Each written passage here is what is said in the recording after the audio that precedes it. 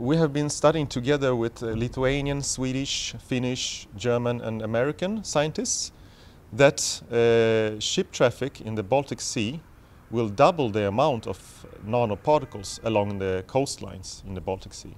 Many of the nanoparticles uh, that we have measured, they are bad for the health, for human health when you inhale them in your lungs. They get deposited there and can uh, cause uh, different kind of uh, diseases. They can contribute to a wide variety of uh, cardiovascular diseases uh, and pulmonary diseases. They can even cause premature death. On this map we can see a lot of ship movement in the Baltic Sea. When the air goes from southern Sweden, passes over the ships going in, in the Baltic Sea, we see an increase in the particle concentration in our Lithuanian station. This is the first study of kinds where we looked at the nanoparticles. We have been looking at other types of particles before, but this is the first time when we did such a study with the nanoparticles.